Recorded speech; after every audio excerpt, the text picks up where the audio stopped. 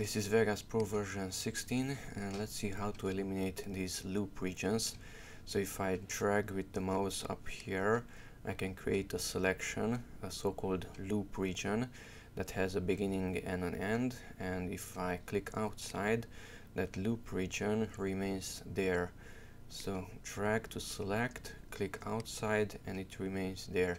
To eliminate this one let's go here to options preferences editing and check this one collapse loop region when no time selection is present. Check it and close it with ok now if I create a selection a loop region now when I click outside this entire selection will disappear. So click now it's in one single point. So there is no beginning and end. It is one single location